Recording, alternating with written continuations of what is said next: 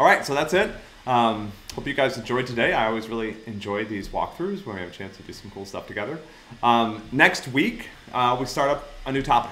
Still object-oriented programming, but we're going to continue to deepen our understanding of how Java works, and we're going to introduce some new concepts that are kind of, kind of, I think, clear some things up for you that might have been lingering sort of doubts or uh, a little bit of uncertainty about how certain things work. So um, I'm looking forward to Monday. I hope you guys have a great weekend. You were not alone. There's a lot going on in the world. Hope you guys are taking good care of each other and the people around you. I will see you on Monday.